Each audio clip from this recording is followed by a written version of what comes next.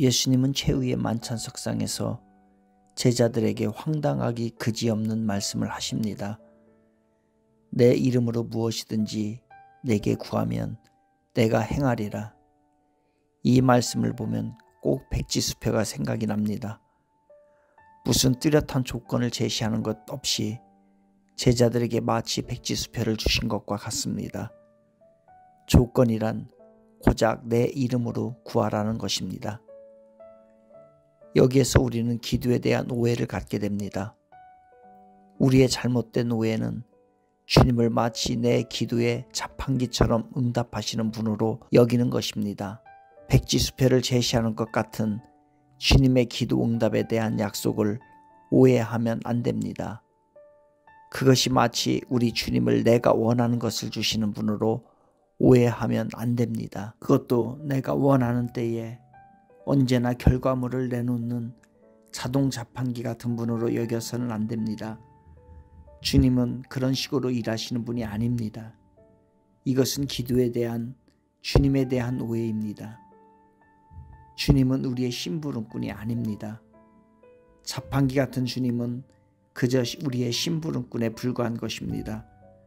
그런데 우리는 지금까지 주님을 나의 심부름꾼 정도로 여겼습니다. 하지만 주님은 우리의 심부름꾼이 아니라 우리의 주인이시고 주권자이십니다. 우리가 주님을 통제하는 것이 아니라 주님이 우리를 향하신 통치권을 갖고 계신 분이십니다. 그렇다면 내 이름으로 무엇이든지 구하면 행하리라 라는 말씀 속에서 우리가 알아야 할 내용이 있습니다. 그것은 우리를 이끌어 가시는 분이 누구인지를 확인하는 것입니다. 누구입니까? 우리의 필요를 채우시는 분이 누구입니까?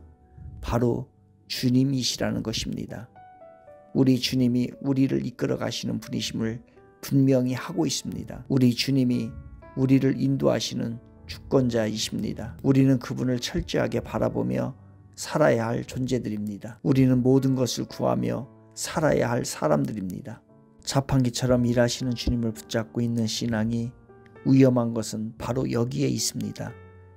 내 인생을 이끌어가는 주인은 결국 내가 되는 것입니다.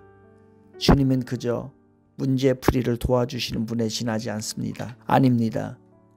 주님은 우리의 인도자요 주권자이시고 우리는 그분의 피조물임을 경험케 하는 통로가 기도입니다. 우리가 주님의 자녀임을 놀랍게 경험케 하는 통로가 바로 기도인 것입니다. 우리 주님은 언제나 기도하는 자들에게 후히 베풀어 주시는 분이십니다. 그것을 분명히 알게 하시려고 가급적 기도에 대한 어떤 조항이나 불필요한 단서를 달지 않으시는 것입니다. 만일 우리의 기도가 매우 복잡한 절차와 과정을 통하여 응답된다면 기도할 엄두가 나지 않을 것입니다. 기도 응답이 특별한 자질을 구비한 사람들의 특권이라면 기도하려고 하지 않을 것입니다. 기도 응답을 위하여 사전에 많은 준비가 요구되어야 한다면 기도하고 싶지 않을 것입니다. 기도를 응답받기 위해 피해야 할 금기 사항들이 요구된다면 기도할 엄두를 내지 못할 것입니다. 기도하기 전에 해야 하는 준비가 복잡해서 주님께 나오지 않게 될 것입니다. 구하라 주실 것이라는 말씀은 그야말로 그림의 떡이 되고 마는 것입니다.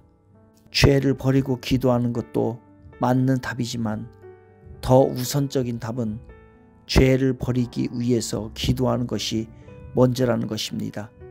죄로부터 회복되고 나서 기도하는 것이 아니라 죄로부터 회복될 수 없는 무기력한 존재이기에 기도하는 것입니다.